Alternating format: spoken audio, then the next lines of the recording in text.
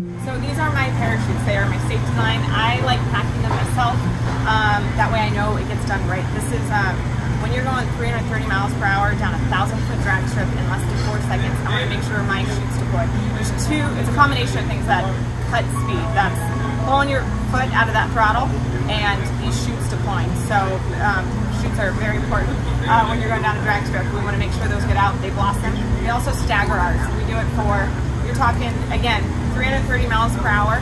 When you're throwing your chutes, that's about negative 6 Gs on your body feel. So we like to stagger so that initial hit isn't so intense. I'm Matt Colo. I am the crew member that helps Brittany pack the parachutes. Um, I also put them on the car in the morning and take them off the car at night. So when I start, I attach the tether to the anchor on the car that is what actually keeps the parachute attached to the car once she deploys it.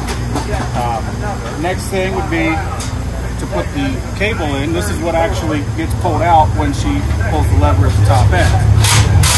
Now, right now, obviously I pulled that out, the chute didn't come out. We have pins in it so that they don't accidentally deploy while we're here in the pit.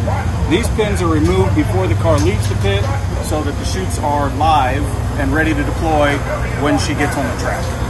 Uh, we take them out earlier because then there's less chance of forgetting to do it, even though about six people check.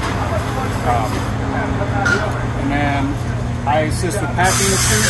Primarily what I do is I compress the pilot chute, which is the bright orange chute you see fly out before the main chute blossoms. There are actually three different ways these chutes can be deployed. First, what we want to have happen is Brittany pulls the lever, the chute is deployed. There's a automated system which if the car travels past a certain distance will automatically deploy the chutes with an air cylinder.